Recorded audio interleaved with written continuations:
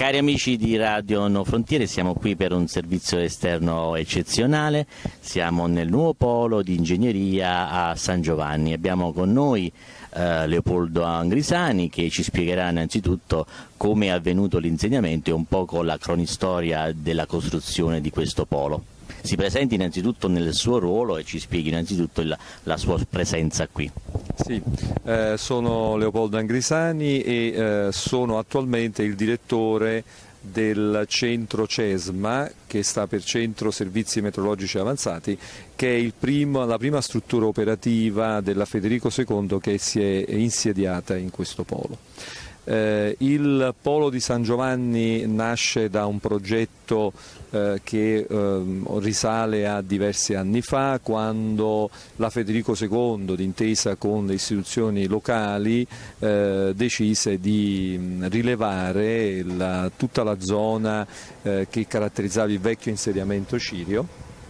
ormai diciamo, in disuso e in abbandono da diverso tempo, cominciando così un processo importante di riqualificazione della zona e quindi anche di valorizzazione del territorio. Eh, sono state fatte nel corso del tempo diverse opere, eh, in particolare è stato necessario bonificare, fare opere di bonifica importanti del territorio, del suolo, prima di cominciare le costruzioni dei primi lotti. Quello che vediamo qui a eh, eh, qui alle mie spalle sono i primi tre lotti che sono stati realizzati, ormai rilasciati da quasi due anni a questa parte, che noi in gergo citiamo normalmente come lotto 1, questo che vediamo qui alla mia sinistra, questa prima palazzina che poi eh, si incunea in quest'altra e quindi longitudinalmente così per poi avere una propaggine ad L nella parte bassa. Dopodiché abbiamo il lotto 2 che è questo di fronte a noi che ha forma di una, una, specie di T che si va ad incuneare con lotto 1, la propagine del lotto 1 che chiude e poi lì de- sulla mia destra abbiamo il lotto 3, quell'edificio bianco con la propagine azzurra che vedete in fondo eh, che ospita i cosiddetti laboratori pesanti del CESMA dove ci sono grandi strutture e eh, grande spazio per produrre prove soprattutto nel ramo meccanico, aerospaziale, strutturale e così via. Ehm, eh, questa struttura, i, i, moduli, i, due moduli L1 e L2 sono moduli da tre piani, abbiamo un piano terra, un primo piano, un secondo ed un terzo piano.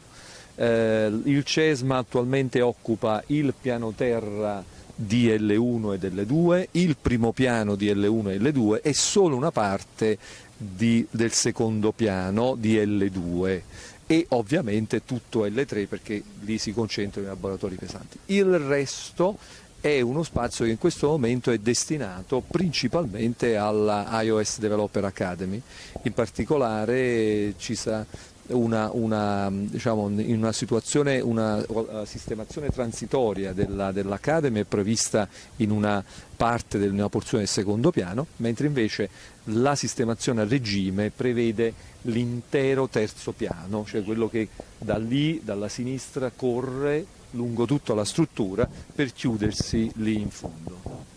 Quindi, avremo... Quindi questo progetto praticamente nasce, eh, vogliamo un attimino dirlo se è una cosa che è stata eh, cofinanziata dalla Regione Campania oppure è una questione istituzionale che parte dal governo oppure c'è anche diciamo, un contributo della comunità europea. Come nasce le varie, diciamo, le varie, istituzioni che si sono interessate per la nascita di questo progetto? Sì, qui abbiamo uno, un intervento estremamente importante, fortissimo della Regione Campania, ovviamente facendo leva su fondi europei e quindi ehm, la Regione ha, eh, ha, creduto molto in questa cosa e soprattutto ha visto in Federico II una leva operativa importante per l'attuazione del progetto. Abbiamo avuto qui la visita anche di alcune delegazioni europee per eh, la verifica dei lavori effettuati e ed è stato sempre letto sui loro volti un entusiasmo molto forte, e tanto è vero da leggerlo quasi anche a modello realizzativo di alcune di alcune opere. E ricordiamo tutti i progetti cofinanziati dalla comunità europea hanno chiaramente una tempistica e su quello bisogna essere rigidi, altrimenti i fondi vengono sottratti. sottratti esattamente, qui le tempistiche sono state rispettate e eh, tra l'altro anche con eh, valorizzazione dei risultati, quindi come in questo caso in cui noi riusciamo grazie a questa struttura ad ospitare realtà importanti eh, in questo momento Apple, ma eh, abbiamo in cantiere diverse altre iniziative che possono prendere spunto da questa. Tant'è vero che quello che vediamo realizzato, eh, giusto per darvi una, una, una, indicazione, adesso proprio davanti a me si snoda il cosiddetto modulo C, quello che noi in gergo chiamiamo modulo C, che è un modulo dedicato in questo momento che noi dedicheremo alla didattica di ingegneria, in particolare ospiterà il primo anno già dal 20 settembre, ospiterà parte del primo anno di ingegneria. Già parte. Già parte, quindi saremo operativi dal 20 settembre. Eh, arriveranno qui circa 900 studenti, ci aspettiamo che è mediamente un terzo della popolazione studentesca di ingegneria del primo anno in modo tale da far vivere il complesso anche alla, agli studenti e dalla loro un'opportunità eh, diciamo, di avere vicino anche in realtà importanti, a parte l'Academy, la, la, ma anche i grandi laboratori che stiamo costruendo. Non solo, e anche ci aspettiamo diciamo, di avere nel, prossimo, in futuro proprio brevissimo eh, anche aziende che proveranno con noi a fare dei laboratori congiunti, quindi ad insediarsi diciamo, all'interno della struttura per creare quel connubio tra... un nuovo collegamento tra studenti e il mondo del lavoro che forse non c'era per i vecchi laureati o no? Esattamente, esattamente. qui stiamo cercando di, di, di ricreare. Attimino, anche perché un poco, mh, diciamo, facciamo un attimino della cronistoria, nel corso di laurea di ingegneria si è rilevato negli anni sì diciamo, interessante per coloro che uscivano negli sbocchi lavorativi, però è stato un po' dispersivo perché erano le specializzazioni che poi hanno eliminato alcuni settori, quindi adesso sarebbe giusto appunto creare un collegamento perché molti eh, laureati insomma, sono ancora della vecchia generazione sono ancora diciamo, in un mondo lavorativo indefinito, quindi esatto. l'obiettivo forse deve essere questo. Esatto, quindi un, il maggiore contatto può creare anche dire, una maggiore consapevolezza di quelli che possono essere i percorsi delle, delle, delle persone, degli studenti e quindi anche uh, dare la possibilità di fare delle scelte più ragionate, più consapevoli. Magari capire più il mondo del lavoro esatto, che era un po' astratto. un po' astratto, esatto, tenerlo vicino e quindi magari è anche stimolare da questo punto di vista, fare in modo che lo studio poi diventa più stimolato avendo accanto un mondo del lavoro che può essere una prospettiva futuribile. Quindi qua verranno studenti ma anche studenti stranieri, qual è la, diciamo, la... Allora, in realtà noi eh, come iscrizione esatto sicuramente sicuramente eh, come, cioè, applicheremo qui lo stesso modello che in questo momento è applicato in Federico II come ingegneria. Quindi sostanzialmente stiamo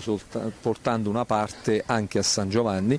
e come obiettivo principale ciò è stato fatto per dare una voce importante a, a, tutta la platea che arrivava dalla zona est di Napoli e da quello che poi sono i paesi diciamo, confinanti, da cominciare da Portici, San Giorgio, è importante perché si evita di passare dal lato ovest della città e questa ha avuto un grosso successo perché noi con le preiscrizioni abbiamo, la abbiamo dato la possibilità agli studenti di eh, fare, anche indicare anche una preferenza di sede, se la zona, host, la zona est e la zona ovest e dare anche delle prelazioni in relazione al tempo di immatricolazione, cioè al momento dell'immatricolazione. Quindi, e ha avuto un, un successo importante, sì, certamente, perché noi accogliamo tanti studenti dalla parte est. Mm. Quindi ricordiamo un attimino per arrivare qui alla nuova facoltà quali ehm, sono i mezzi di trasporto più facili. Ecco. Esatto, allora eh, un aspetto importante che ha visto eh, diciamo, lavorare in sinergia le istituzioni è stata l'apertura del nuovo capolinea della linea 2 del treno metropolitano perché adesso abbiamo la fermata di San Giovanni, non è più Gianturco ma abbiamo direttamente San Giovanni e poi con l'intervento del Comune e delle altre istituzioni abbiamo eh, avuto la possibilità di avere proprio l'uscita della metropolitana praticamente qui all'imbocco di Corso Protopisani, quindi esattamente quindi a pochi passi dall'ingresso della, del polo, del polo di questo campus San Giovanni. Poi eh, c'è la circumvesuviana che non è molto distante da qui, la, dove, mh, ci sono linee di, di, autobus che arrivano, il tram eh, diciamo, che ha la fermata proprio qui nella piazza San Giovanni, cioè dove sta la rotonda. Ehm, Quindi abbastanza esatto, ci sono diverse soluzioni di poter raggiungere la zona. Benissimo, allora noi abbiamo fatto un primo excursus qui a San Giovanni, ci ripromettiamo di ritornarci magari per capire il progetto Apple e ci auguriamo che questo nuovo progetto abbia, diciamo, abbia sempre più successo perché comunque è una nuova zona che sta nascendo e quindi bisogna diciamo, essere entusiasti perché dopo anno di buio adesso si fa qualcosa anche per gli studenti. Va bene, ringraziamo Leopoldo Angrisani. Grazie mille, grazie mille a tutti. E per gli amici di Radio No Frontiere ci rivediamo ai prossimi servizi esterni. Grazie.